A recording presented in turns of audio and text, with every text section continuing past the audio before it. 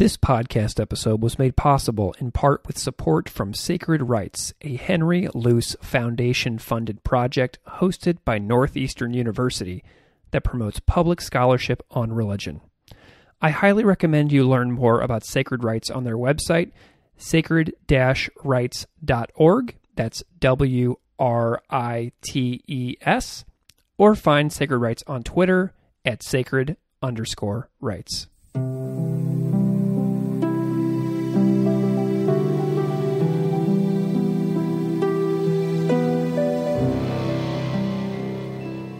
Welcome to Classical Ideas. This is Greg Soden. The ways in which politics and religion are interconnected in countries around the world is an endless well of cultural history. How religion plays into issues of debates on social issues, regional governance, voting results, and more feels immeasurable and overwhelming when I ponder it carefully. Another issue is considering what happens when religious rituals and national norms and customs are thrown into disarray due to an unforeseen tragedy. How do our norms, customs, and rituals adjust when previously unforeseen events take place? One example of when norms and customs failed was in the aftermath of the 2001 assassination of the Nepali royal family and the story of how Hindu succession rituals fell apart, leading to an upheaval in the Nepali monarchy. My guest on this episode is Dr. Anne Mocko, Associate Professor of Asian Religions at Concordia College. She is a specialist in the religions of South Asia and has spent several years living in Nepal, but has also spent time in India, Sri Lanka, and Thailand. She is primarily interested in the ways ritual performance and ritual change can shape collective ideas and ideology. In this episode, we discuss her book, Demoting Vishnu Ritual, Politics, and the Unraveling of Nepal's Hindu Monarchy. In this conversation, we discuss her interest in Nepal and then do a deep dive on the background of the 2001 Nepalese royal family assassination, the jarring aftermath, and how succession rituals failed, leading to a turning point in the governance of Nepal. You can follow Dr. Anne Mocko on Twitter at the Mock Owl, and you can follow me on Twitter at classical underscore ideas. Thank you so much for listening.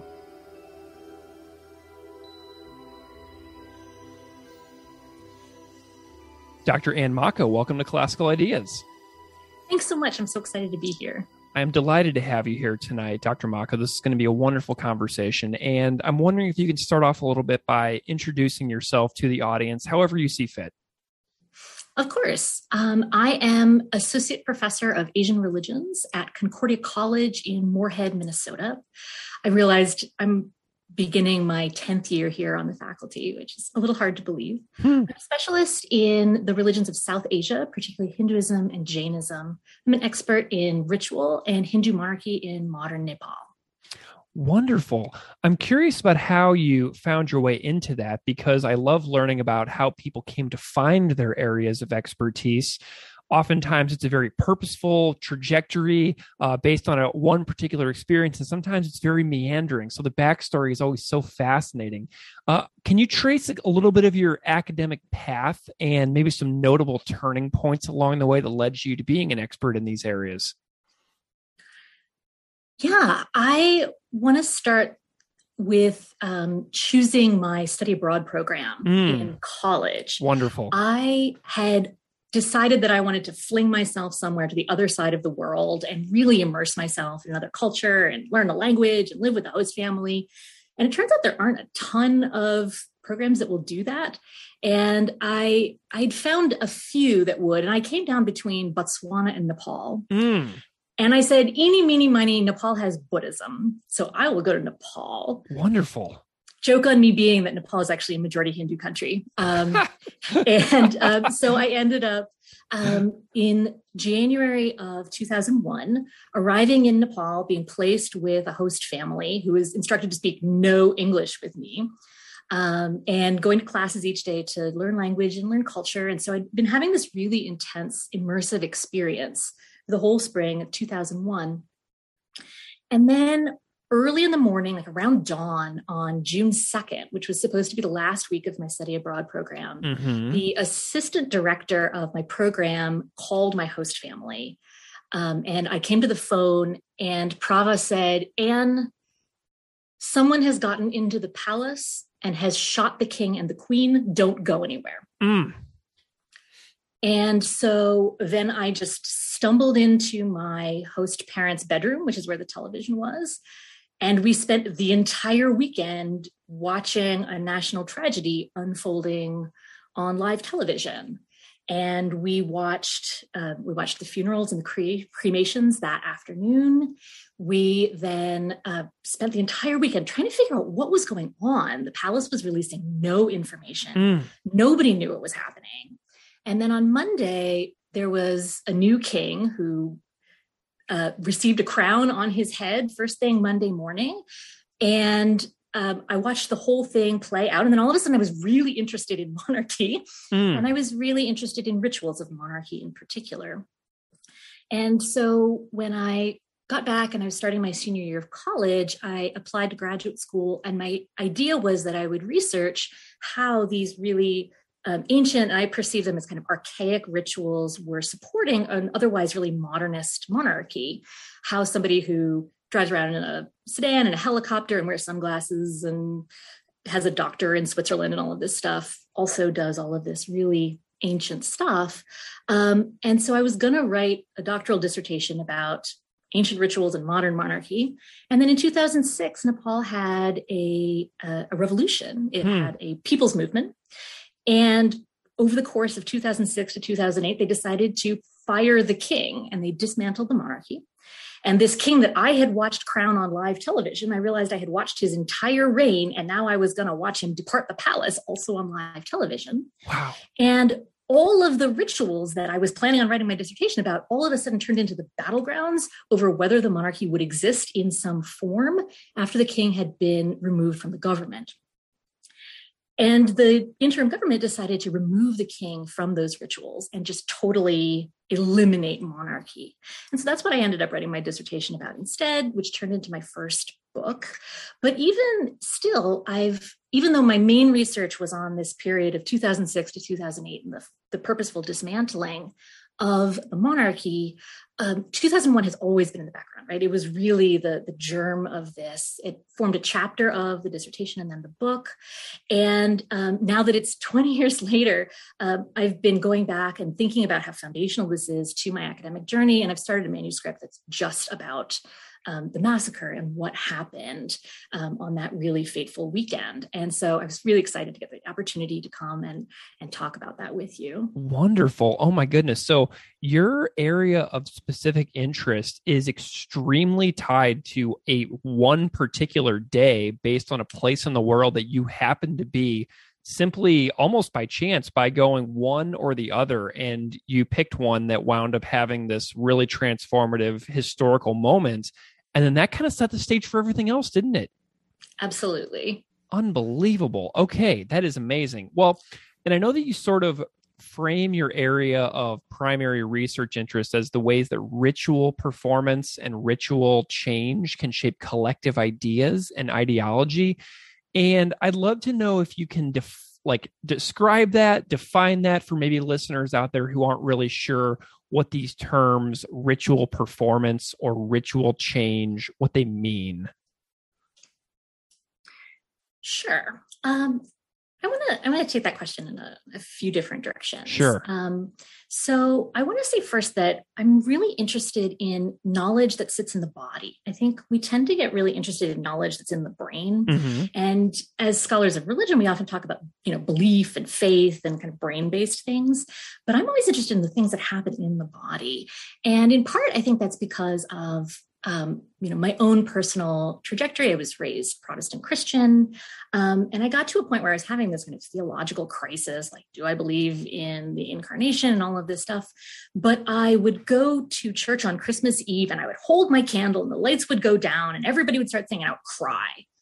And i'm thinking why is it that i would be so moved commemorating something that i'm not sure that i believe in mm. and realizing that that I had this embodied response and this embodied knowledge. It was really, I was really drawn to trying to figure that out and unpack that and figure out what are the ways that my body was invested in religion um, in ways that my mind necessarily wasn't. And that's something that Christianity couldn't explain to me. Mm. But it hmm. turns out that Hinduism really could. Mm. Um, Hinduism is an orthopraxic religion rather than orthodoxic, which is to say, it says practice matters more. Um, if you maintain your um, your practice obligations, your ritual obligations within the family, within the community, if you follow certain holidays, it really doesn't matter what you think about them. Mm-hmm. But what really matters is what you do. Um, and as I got to understand Hinduism, that really kind of explained me back to myself in a way that I found really compelling. Yeah.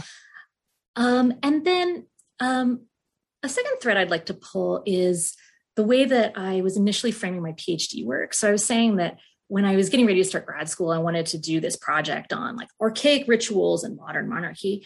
And I eventually realized that I had fallen into kind of a common American trap of thinking of ritual as something that really belongs to the past, mm. something that is old and time bound and changeless, and that modern people just throw off.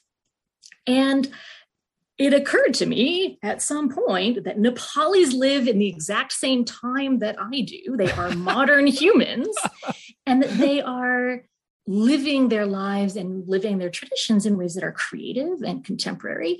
And so I also, at a certain point, needed to account for how Nepalis could be um, responsive to the past without thinking of them as being stuck in it in some way. And so some of being interested in rituals also trying to um, dismantle that that sort of default exoticism and orientalism that I carried in um, before I started really studying this. Mm.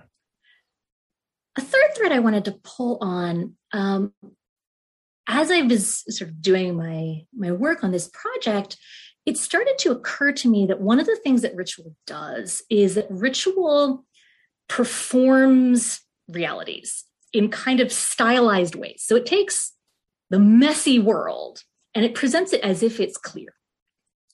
And in doing this, it can kind of rubber stamp things. It stamps certain things as being true. And it does it in a way that's really hard to argue with. And so one of the things that I really want to put forward in my work about Nepali royal ritual is that rituals are arguments. They are arguments about the world. And um, they can create realities and they can take messy realities and clarify them. And so, for example, if you take the ritual of a wedding, you have two people who've had some kind of relationship. Mm-hmm. Maybe they're deeply in love. Maybe they just met each other. Maybe he's marrying her for her money. Who knows what it is? But in the course of this ritual, they are presented as um, two individuals that come together and they create a couple and it creates a new kinship bond and they walk out as a, a kind of new social unit. Mm-hmm. And so um, the, the ritual has taken the messy world and said, this is how this works. Um, and so it has made an argument about the people who were involved. And one of the things that I started to notice was that if you change rituals, you change the arguments that the rituals are putting forward. Mm. And so you change what you are arguing to be true about the world. And so if we return to the, the wedding piece, um, if you have a really long tradition of taking um, somebody who presents as male and somebody who presents as female and stamping them as a married couple. And then you start having two women who come together as brides, or two men who come together as brides, or multiple people who come together as a polyamorous unit, and you stamp mm-hmm. them as being a family unit. You have radically changed what you are arguing to be true about the world. Mm. You're not just kind of ref- reflecting what somebody believes somewhere else. You are not uh, reproducing the past seamlessly. You are um, you are making an argument about the world. Um, and so, one of my fairly early publications was actually about uh, the tradition in San Francisco of performing Columbus's expedition every Columbus Day. Mm. That you would have local citizens land in a boat to discover San Francisco. and how starting in the 1970s you started having native activists disrupting this mm-hmm. and that you needed to interrupt the ritual to make a new kind of argument about about history and about who we are as contemporary people and so i really got interested in the ways that ritual change works and how um, modifying rituals or how accidentally newly performed rituals change the meaning that happens. I never thought about it like that as well, like changing it into an thinking about it as an argument when you change the way a ritual is done, how you're arguing that a new reality should exist. I've never thought about it like that, but that's something that we all do all the time whenever if we're actually reflective about the ways that societies can be different moving forward is we are making new arguments by modifying the past, like the the things that we've inherited. Wow. I'm having a real epiphany moment here in real time. I love that. Um, but you know, you mentioned orthopraxy as well, and that's something that my students always really appreciated about Hinduism. When I were, we would t- like learn about those and have like our guest speakers come in and talk about the ways that they have different relationships with God or gods, like the different um, versions um, that that people practice, like based on choice and that was a really fascinating thing. Did you have a hard time like kind of wrapping your brain around that whenever you were when you went to nepal and you started realizing the ways that people live their lives in other countries around the world? Yes. Um, and one thing that i i noticed was that basically everybody that i knew who'd been raised in a religious background in my you know, early 20s, mid 20s, was having some kind of crisis in how they related to their religious traditions mm-hmm. and how, if at all, they wanted to continue to engage. Was there room for them? Did they feel comfortable? And I discovered that basically zero Hindus that I met felt that way. Mm-hmm. that um, one of the things that seems to me to be a real advantage of putting emphasis on practice is that it doesn't feel invasive. It's kind of flexible and you can you can participate in a practice and be really into it. It can be deeply meaningful and that's great.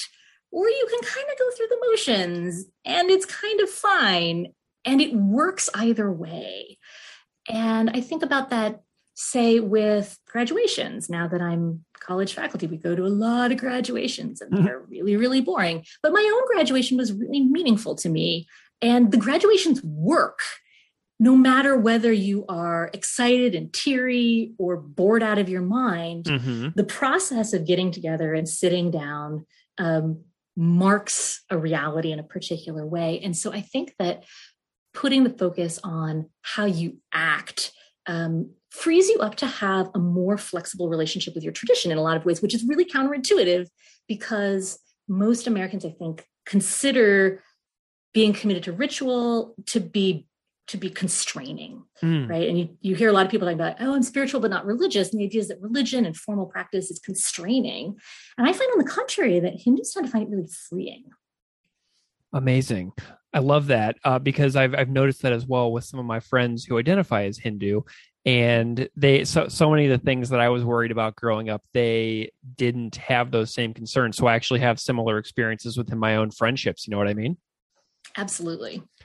And so when you came back from Nepal from this extremely like chance encounter that brought you to Nepal, and then you had this very transformative moment while in Nepal with the tragedy and the massacre of the royal family.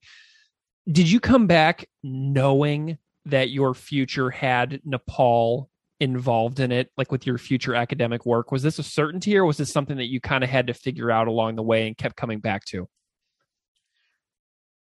No, it didn't feel like a certainty. It felt like this yawning, gaping injury and mystery. Mm. It really, it just was that I'd been through this experience that I did not understand. Mm-hmm. I didn't understand the whole thing, right? I spent all of that study abroad semester totally disoriented, you know, learning learning how to talk again, learning how to eat, learning how to dress myself and like, use a Nepali bathroom.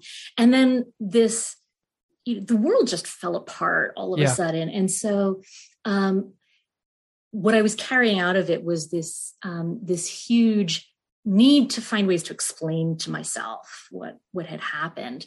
And of course i might note you i don't know if you put together but june 1st 2001 when the royal family was killed is a mere three months before september 11th i was just thinking that ju- i was just thinking that. So i got back to the united states and then the united states has this whole national tragedy and i was like oh i just did this. Okay oh boy. um, but no i i came into grad school um, not really with a mission so much as a well of questions and uh, kind of vague impulses that there was something really interesting there, but I didn't have language for it yet. And so I went to grad school to try to achieve the language for myself. Mm-hmm. Gotcha. Where did you wind up? Who was your who was your mentors through this grad school program? Um, I went to the University of Chicago Divinity School. Nice. And I ended up kind of working jointly with the whole history of religions faculty. So I worked with Christian Wedemeyer as my advisor, and then Bruce Lincoln, who's, of course, all about power and authority and politics and religion. And so he was really foundational to me. And then also Wendy Doniger as an expert in South Asia. Well, your your work led to, as you mentioned earlier, a book called mm-hmm. Demoting Vishnu Ritual Politics and the Unraveling of Nepal's Hindu Monarchy, which is about succession rituals. And I'm wondering if you can, you know, tell me about like the the like the genesis of the book um, because then i want to talk a little bit more about the specifics of the royal family. Sure yeah. So um so the book is really about how ritual was part of the long-term collapse of the nepali monarchy. So um, it gives an introductory chapter about ritual itself and what I think ritual can do. And then it gives a just history of monarchy in Nepal. Then it has a chapter on succession rituals. And then it has three chapters about what I call reinforcement rituals, which after you've placed somebody in the position of king of Nepal, then you put them out in public on a routine basis to keep reinforcing that role socially. And so, in fact, in 2006 to 2008, what the interim government went after were the reinforcement rituals. Mm. And so, that portion of the book is really about the process of deleting the king out of all of these other rituals. But I think that it's the stage is really set for that by the fact that the institution of monarchy itself gets weakened in 2001 because the succession rituals don't successfully hand off kingship to from from one king to the next. So one of the one of the things that i think is really interesting that you see by looking at kingship is the way that ritual can assign identities to people. When you have something like king of nepal you have this idea you have this social identity and you need to be able to hand it off from one person to another and so there end up being eventually 13 kings in the Shah dynasty. And so as soon as one king dies, you need to pass that role to somebody new. And you need to do it preferably as, as smoothly and quickly as you can, like a magician doing a sleight of hand trick, right? You need to pass the ball from one hand to the other with nobody noticing. Mm. And so you can see this in a lot of different processes where you have a transmittable social identity, like the American president, for example, we have a long process of trying to identify the person. We have campaigning, and we have an election, but then we have a ritual. We have an inauguration. And the moment of the inauguration is the point where the role, president of the United States, is handed from one person to another person. And so, in the case of kingship, um, one of the things that's that's strange is that this usually happens when a king dies. Right. Mm-hmm. The, the advantage of a presidential system is that you have a calendar when this is supposed to happen. Right. And so it regularizes that handoff. But in the case of a king, one king is supposed to be king for the rest of his life, and you don't know exactly when the king is going to die, and you need to change gears all of a sudden. And so you need a fairly elaborate ritual apparatus that can be put into action kind of almost immediately right to to lift that identity off the king who has died and place it instead onto the person who is going to succeed him. And so that's the process where ritual does work of kind of stitching together individuals into this unbroken idea, King of Nepal. And so in 2001, when the royal family gets shot, um, the succession rituals can't do it. They can't manage this particular situation. They can't switch the ball from one hand to another without dropping it They can't lift the identity from one king and put it onto another in a way that feels compelling to people. And so, even though everybody does the rituals, does the right rituals in the right way, the process overall really fails. Mm. And that means that the institution itself, the idea king of Nepal, kind of undergoes damage in that moment. Wow. Okay. This is really, I mean, we'll get to this too. We're going to, I want to explain, examine the exact ways that it fails. But before we do that, something that I'm curious about is we know that on June 1st, 2001, this massacre of the royal family occurs. And we know that from 2006 to 2008, the monarchy collapses essentially. But what about before that? I'm wondering about like the history of Nepalese monarchy and if there's anything that you would like to do to kind of fill in for the audience a little bit about the history of this institution, which ends in 2008. What is before all of that? What's really interesting to me is the way that the history of Nepal and the history of Shah dynasty kings end up being really tightly bound together. So Nepal doesn't exist as a unified territory until pretty recently. Up until the 1700s, the Himalayan region was pretty politically fragmented. There were small scale city states. So the city of Kathmandu had its own king for many centuries. There were a few valleys that be consolidated under a local king, a few relatively short lived um, empires. But there was not one territory stretching across all of the Himalayan foothills like you have now. And then in the mid 1700s, which is the time period when the British are starting to encroach into what is now India, you get a king in the Himalayan foothills named Prithvi Narayan Shah, who comes to the throne in the small city of Gorkha. And he starts to take notes from the British on military strategy and he starts to buy weapons from the British. And he uses these to take over a huge swath of territory.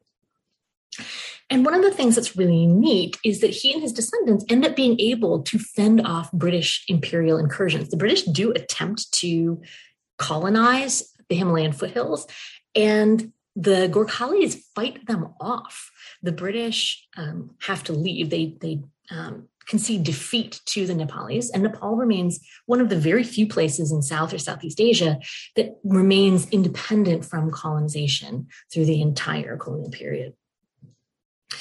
Prithvinarayan Shah's most important conquest is his conquest of the Kathmandu Valley in the 1760s. He moves his capital there and he has himself recrowned as the king of a united Nepal. And that happens in 1768. 1768, not accidentally, then gets used as the date of the founding of modern Nepal. So the date that the Shah king had himself crowned in his new capital becomes the date of the starting of the country itself. Then Prithvi Narayan Shah and his descendants continue to rule united Nepal from 1768 until 2008, when the monarchy is dissolved and King Gyanendra leaves the palace. We have 240 years where we have a country that is united under one particular dynasty. It's interesting to note, though, that just because there's a Shah king at the head of the country, that doesn't mean that the Shah King's role is always the same. And in fact, there ends up being a big ebb and flow in the Shah King's roles in the government. Sometimes he's really running the direct administration of the state, but a lot of the time he serves as a figurehead. In particular, for basically all of the 1800s and the first half of the 1900s, from 1900 until 1950, the king is functionally out of power. There are regents and prime ministers and hereditary prime ministers who are running the government in the king's name. But basically, the king himself is having no day to day participation in the government. Then in 1950, King Tribhuvan, who is King Birendra's grandfather, throws his lot in with a pro democracy movement. And he ends up claiming power at the head of the government and kicking out the hereditary prime ministers, the Rana family. And from that point through the rest of the 20th century, the Shah kings are considerably more powerful as political figures than they've been in earlier generations. And they are basing that power on their claimed roles as being defenders of democracy and promoters of development and modernization. And so Hindu monarchy in Nepal isn't really this kind of ancient archaic thing that somehow survives into the modern period, but rather the Shah kings spend the 20th century arguing that they are themselves fundamentally modern um, and they are leading a fundamentally modernizing nation. But so the political roles of the Shah kings really vary through time. But what doesn't vary that much is their ritual roles. They will perform the same ritual political functions year after year, generation after generation. And the king's social identity ends up being held stable through ritual, even as his practical power fluctuates. Whether the king is attending cabinet meetings or just sitting around in the palace, he always goes to Indra Jatra. He always goes to Bhoto Jatra. He will always have come to power through the same kinds of succession rituals. Um, and so, when it comes time in 2008 to dismantle the monarchy, the interim government goes after the set of rituals that had been constructing the royal identity. But if we want to backtrack and be thinking specifically about what happens in 2001 when the royal family gets killed, the thing that's most important to know is that at this point in history, in 2001, King Birendra has been king for almost 30 years. He had come to the throne in 1972, and so he has been leading the country and anchoring the idea of the Nepali state for most of living memory there are whole generations of people who cannot remember before Birendra was king. There'll be some people who might have tie, uh, ties and memories of Birendra's father. There'll be a handful of people who might remember back to Birendra's grandfather, but Birendra's grandfather died in 1955. And so King Birendra is really just part of the backdrop of being Nepali, as is the presence of his wife, Queen Aishwarya, and their son, Crown Prince Dipendra they are the the symbols of the Nepali state. And so it's really hard to overstate the degree to which the shootings on June 1st, 2001 end up upending Nepali people's baseline understanding of what their country is like. It fundamentally disrupts the imagining of the nation. And so then when Birendra is killed, the throne very briefly passes to his eldest son, the crown prince.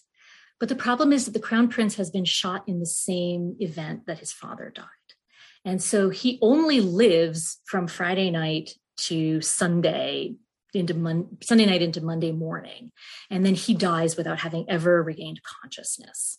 And so he's been king for two days but he's not known that he was king. Nobody's been able to put a crown on his head or seat him on a throne or do any of the things that would meaningfully craft him as the king of Nepal.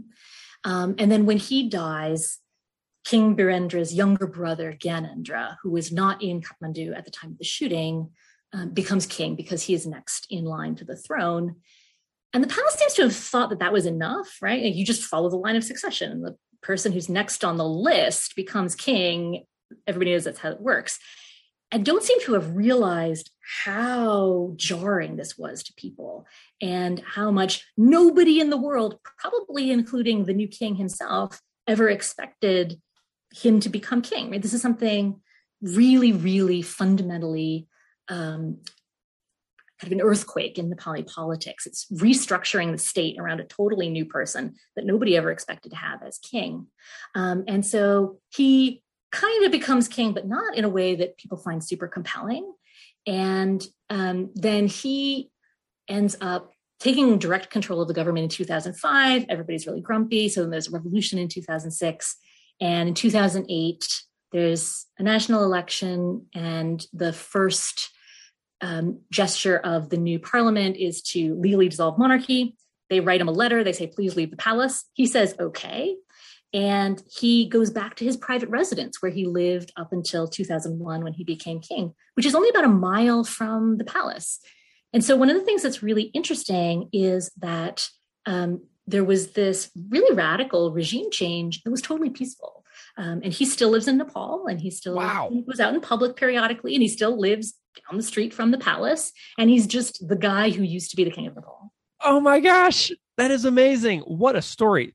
That was really well said, by the way. Um, I'm curious about who else so we we know that the that King Birendra died. We know the Crown Prince died. I know there were more deaths as well, right? Who else was there? Everybody. Yeah. so it was it was the the tradition in the Shah family to get together once a week or sorry once a month as the extended family to have dinner together at one of their private residences. And so on the night of June 1st, um, there were 25 people who came. 14 of them got shot, 10 of them died. Wow. King Birendra's entire immediate family died. So that was King Birendra, his wife, Queen Aishwarya, all three of their children. So that would be the crown prince, their daughter Shruti, and the junior son, Neerajan.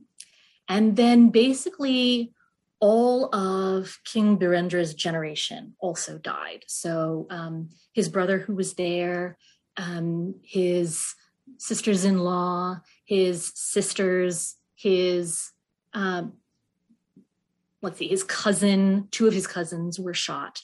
Um, and so there's, um, there's a sort of real bloodbath and um, the the eldest members of the party and the youngest members of the party all survived and so um, the the immediate family died and then the king's generation died. And then there were some survivors on the other side. Do what do we know about the assailant or assailants? I'm curious about who has carried this out what we know what we don't know. So on the morning of june 2nd the the news that was leaking out was that it was the crown prince who had shot everybody uh, Uh, this was being widely reported in the indian media and the american and international media. And eventually the the investigation committee confirmed this to have been the case. The nepali government didn't want to say anything. So over that weekend, Gyanendra, who became king at the end of everything, he got on national television and he said, there was a dinner party and there was a weapon and it went off akasmat, which means out of the sky, like accidentally. and it just killed 10 people. Oh my gosh. um, so everybody was like, um, clearly you're lying to us. And so Nepalis uniformly believe that not to have been true.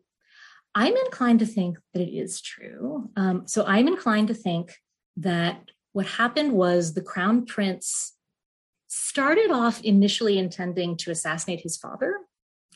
But then what all of the eyewitness accounts say is that he came in to the party in combat fatigues, carrying weapons, and he shot his father, and then he left the room. And then it was only after he came back that he started shooting everybody else. And what was clear is that King Birendra did not immediately die. He died mm. on his way to the hospital. And so when the crown prince came back into the room, his father was on the floor bleeding and still talking. And so my own hypothesis is that the plan was kill dad, become king. And he came back in to announce, hey, everybody, I'm the king of Nepal now and dad wasn't dead. Mm. And the plan just went off the rails from there. Um, but but Nepalis tend to think that um, it was some kind of um, conspiracy, that it was outside actors, um, and and a lot of it is that there's just such profound mistrust of the official narrative because of how badly the palace handled the situation and how little information they gave for so long after it happened. Wow what was the the scene on the streets like in the days after the massacre? Like was there widespread uh, unrest in the streets in the city or anything like that? What was it like on the ground? Emotions were running really high. Um, yeah. yeah people were devastated they were angry um, people were um, flocking by the thousands to come view the funeral processions. Um, people were sobbing. People started throwing rocks at the prime minister during um, that funeral procession. Um, there were riots in a few places. There were demonstrations in front of the palace. Um, there were some people shot by by police and security forces trying to keep order. Um, on Monday, which is to say the day that new king Gyanendra got crowned the new king of Nepal, um, there was a shoot on site curfew placed on the entire capital um, for basically the entire day. Mm-hmm. And mm. um, it just, um, it was, it was scary and devastating and entirely understandable. My goodness. Um, so then I'm wondering about the the transfer of power from Birendra, who was killed, to Gyanendra. And you, we've talked a little bit about succession rituals in the former Nepali monarchy, or something that you know. This is something I don't really know much about, and we talked a little bit about what ritual looks like. And I'm wondering about how Hinduism comes into these rituals and what the actual transfer of power to Ganendra looked like, because uh, I know that it doesn't go right, and I know that it ultimately fails. So I'm wondering what that process looked like, and then why it doesn't work. Yeah, this is a wonderful, wonderful question. Um, so let me start with the how is this a set of Hindu rituals? Sure. So the first piece is that in in trying to lift off the identity king of Nepal from the old king, that's done in in the Nepali case, as in most monarchies' case, through the funeral of the old king.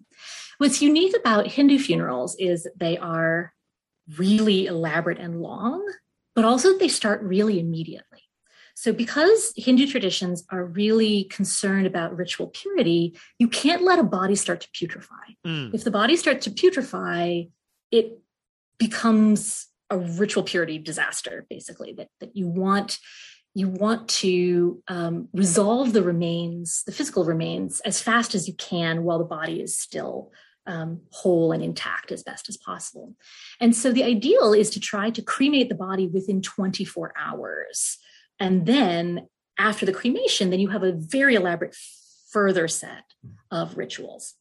And so um, there's a basically two week long process that is called Kriya, and that involves usually the, the son of the person who has died doing a really elaborate set of rituals to essentially help the soul on its journey into its next existence. Um, and so they are um, doing readings and they're making offerings and they they'll shave their heads and wear white and they'll stay in a really confined place that's reserved for them to, to take on this really weighty ritual responsibility. And then at the end of that, that Kriya period, you have a kind of release from the deepest ritual impurity for the household where the death has happened. But then you still have observances at the 30 day mark, the 45, 60, 90 day mark, then six months and one year. And then you will continue to commemorate that person on their anniversary of death for some number of years until eventually they get kind of folded into ancestors. And so, one of the things that is that goes wrong in trying to hold a funeral for King Birendra is that he doesn't have a son to do his cremation mm. or his kriya rituals for him. When Birendra's father, Mahendra, had died, King Birendra couldn't do it himself because he just became king, but he had two younger brothers. And so his two younger brothers went off and they did all of the rituals for, for their father. And when King Birendra died, one of his sons was in a coma and the other son was two cremation pyres over being burned at the same time with a surgical bandage holding the back of his head in place wow. for the purposes of the television cameras. Yeah. And so um, there was this sort of deep way in which the um, the disruption of the whole family gets gets dramatized here. But the other thing that's really damaging about the funerals is that they happen really fast, right? You have to start the cremation within 24 hours. Everybody dies at a dinner party at about nine o'clock the night before. So you need to cremate them the following night, Saturday night. Everybody in the country has just woken up Saturday morning to the news that the royal family has died the palace isn't saying anything for hours and hours and hours. If you turn on the national television, it's just a picture of Pashupatinath temple and some devotional music playing on loop. Wow. And I'm just like, what is happening?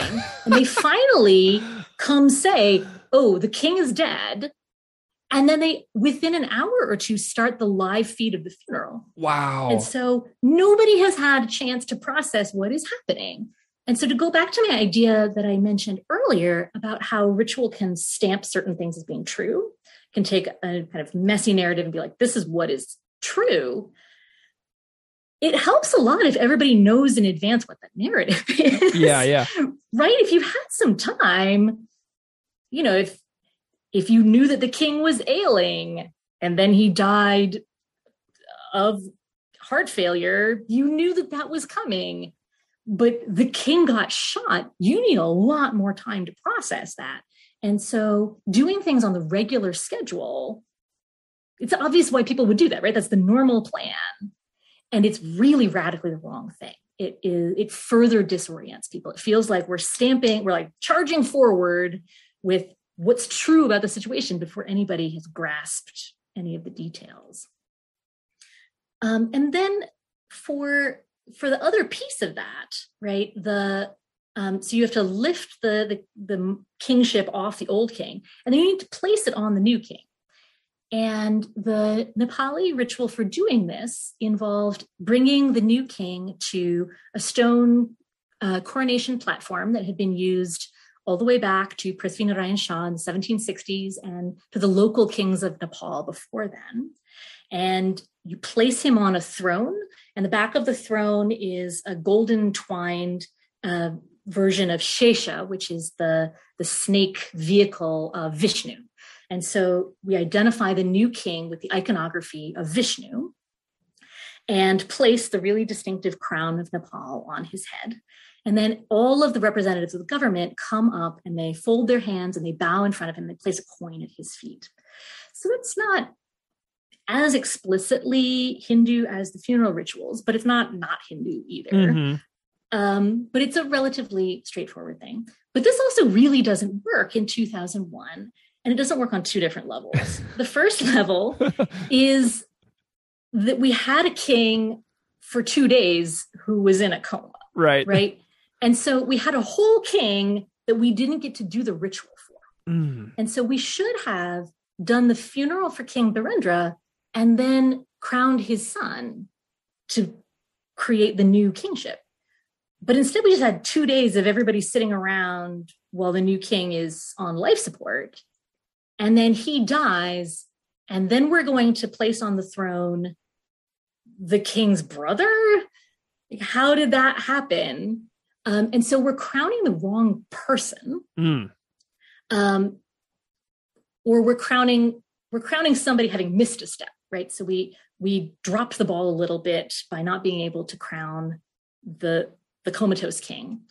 And now we're just going to try to pass the kingship straight from Birendra to his brother, but everybody's really uncomfortable about that.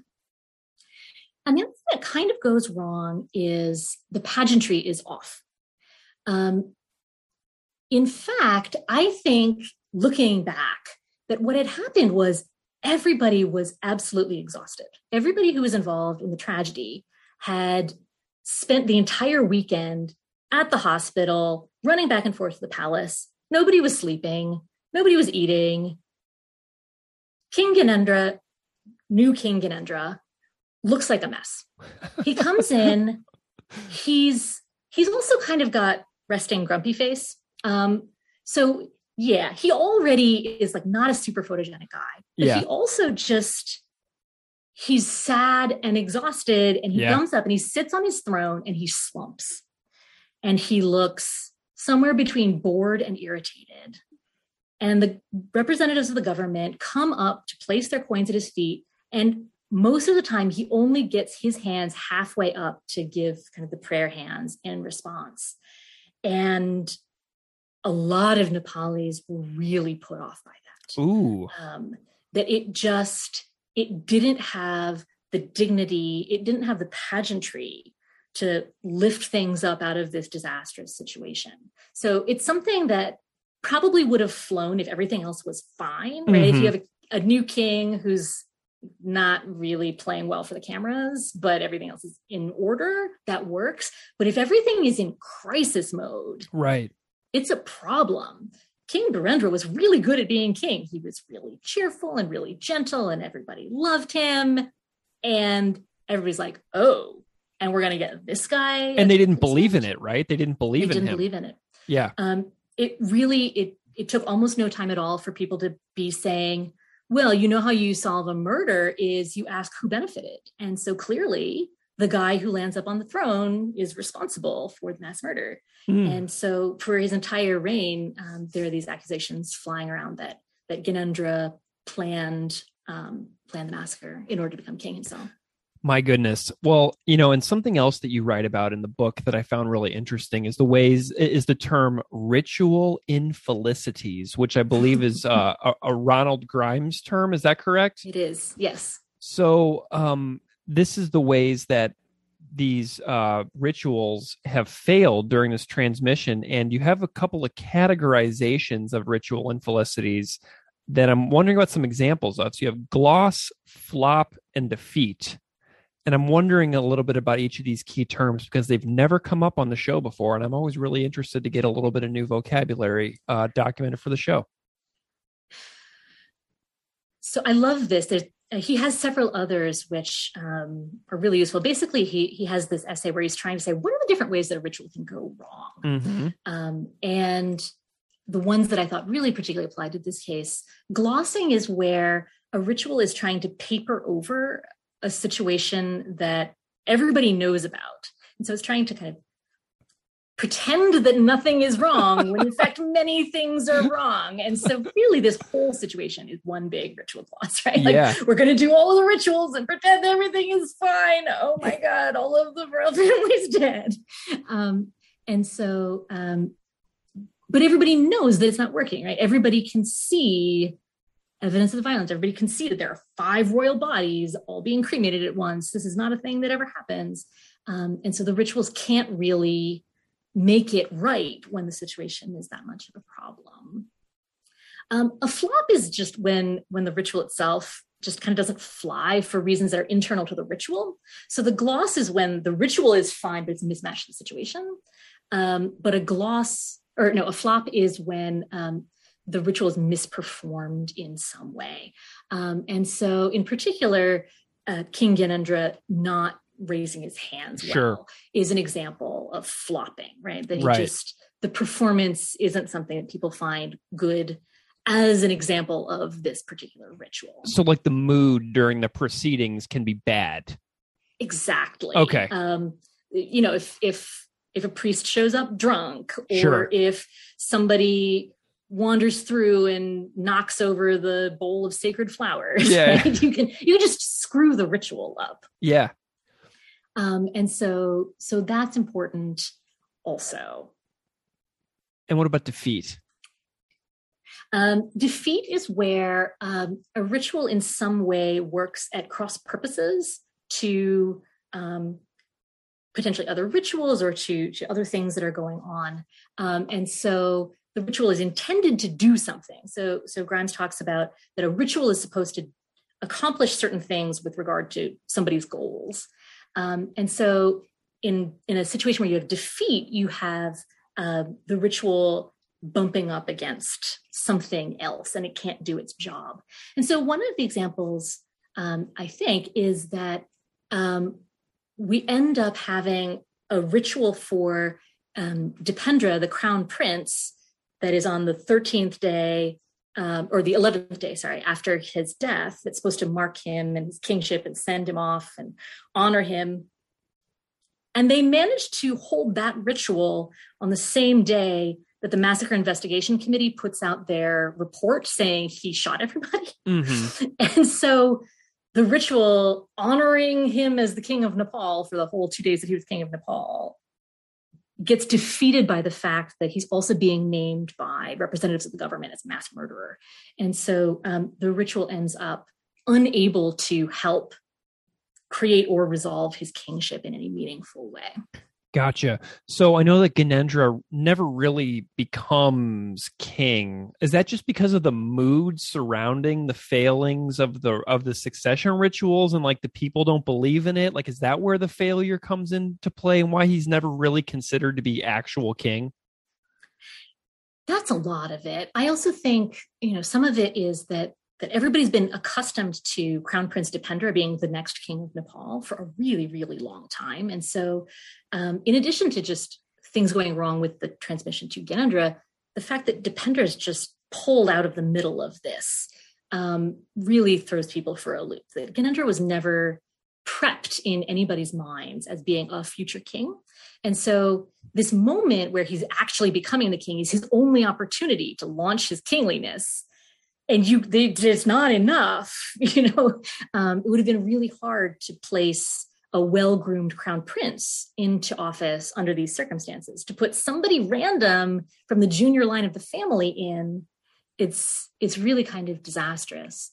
Um, but then also, um, he's just unpopular. He's um, he's not got a, a terribly positive reputation going into this. People don't like the way that he conducts himself. He surrounds himself with a lot of um, really uh, conservative politicians from like the 60s, and people are thinking, oh, he really wants to take the country backwards from our democracy movement in 1990. And um, so there, there, are a lot of ways that Gyanendra doesn't help the situation once he becomes king. Um, and so it's not just that the rituals fail, but it's also not not that the rituals fail. The rituals failing really meaningfully prevent Gyanendra from getting launched in his new position, from really taking on in a compelling way his new social identity as king of Nepal. So fascinating. Did the mood in the country shift in a positive direction after the the dissolution of the monarchy does the mood in the country improve generally for the people? It really did. There was a huge amount of optimism in 2008 that carried into 2009 2010 and then the new government continued to be just as dysfunctional and just as poor at delivering routine goods and services to the people as any previous government. And so um, there's just there's really been kind of a resurgence in Gyanendra's popularity recently, just because everybody hates the people who are actually in power, and they're like, well, that guy seems fine. I don't know. There's just so much cynicism, and just Nepalis routinely want whoever is not currently running the government, um, and it's it's it's a shame that such an amazing country and such amazing people get such poor governance.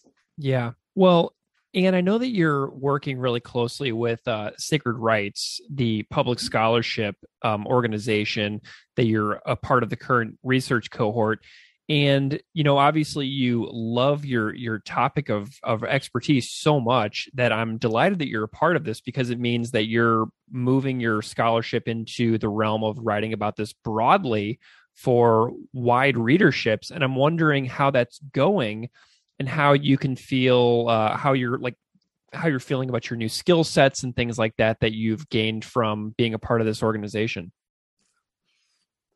it's really great. I actually I came into Sacred Writes feeling like to do public scholarship, I needed to apply my scholarly skills to new topics. Mm-hmm. I've I've gotten in the habit of thinking of this project that you know, I love so much and I put so much work into as being kind of too esoteric for most people to really be that interested in. And so I have another project that I'm working on that is really designed to be for a very public audience. And um, I've been like, oh, I could write an op-ed about this thing or that thing. And really what I've come around to is no, I could really talk about this. Um, and so um, I I actually I in approaching this podcast episode, I, I was like, I could talk about my project that's public facing, or I could try to talk about the not public facing one and see if I can do it. And I'm really excited that that you've kind of helped guide me through talking about this in a way that I hope people will find uh, accessible it's such a gripping story. I mean, it's a piece of history, and you think about Nepal and in the United States uh, imagination of the population here, what we know is Mount Everest and things like that. You know what I mean? We have this very particular view of this one particular place on this one particular piece of the planet. And this is such a rich part of the story of that country that um, I think that this is a story that anybody would be fascinated and you know enraptured to listen to, just like I have been. So I'm hoping that it's I'm hoping that it landed just as well for everybody listening as it does for me. You know. Well, I think it's really important to claim Nepal as being not exotic. I mean, it is really different and wonderful in many, many ways, but I think there is a tendency to think of it as being Shangri La and that, you know, the Nepalis who live there must be kind of magical elf beings up in the mountains.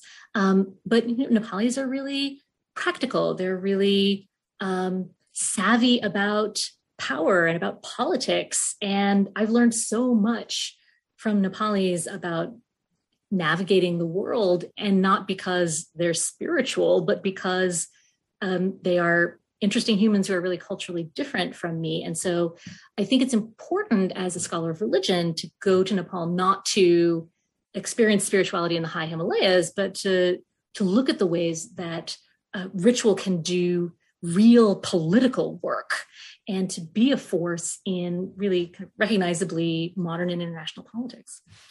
What are some of your goals for future public scholarship projects?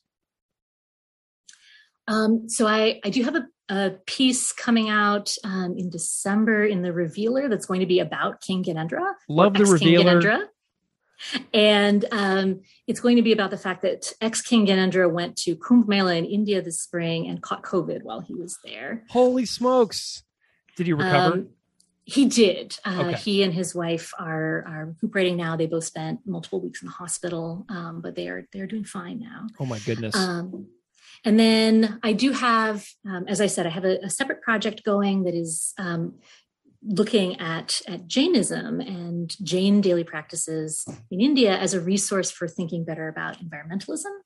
And I think that also comes back to my idea that that we know the world through our bodies and the ways that we interact with the world in stylized embodied ways really matters and ways that jains uh, attend to the world is really fascinating and so um, that is that is also designed to be a, a piece of, of public scholarship well, I will definitely have you back to talk about that book that you're working on with regards to Jainism and the environment, because those are topics that I care deeply about as well. So we'll definitely have to do a part two. But in the meantime, Dr. Anne Mocko, where can people find you if they want to know more about your work and what you do? Um, they can find me on Twitter. I am at the Mock Owl, so Mocko becomes Mock Owl. Yeah. Um, there's also a an open access journal article that um, that I wrote in the journal Himalaya. That's about what happens to royal animals after the monarchy ends. Whoa, and, um, cool! So that has some good pictures, and, and that's written with with my friend Shauna Barnhart. So. Fabulous. Well, thank you so much for spending this hour with me to talk about your work. It's just been such a thrill. Thank you so much for this. I really appreciate it, Greg.